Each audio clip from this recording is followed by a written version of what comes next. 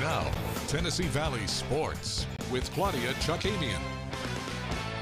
Back in June, Alabama A&M University announced that longtime athletic, athletic director Bryan Hicks was stepping down to take on a new role with the SWAC. And after a long and intensive two-month search process, the athletic department announced today the next person to lead the Bulldogs. Dr. Paul Bryant was named the fourth full-time director of athletics for Alabama A&M in their 24-year Division I history. Bryant comes to Huntsville after three years as the associate vice president for intercollegiate athletics at Edward Waters. Previously, he served as as Director of Athletics at Grambling, South Carolina State, and Stillman. Bryant said it's the prestige of the university that drew him to this job, and he's ready to get going.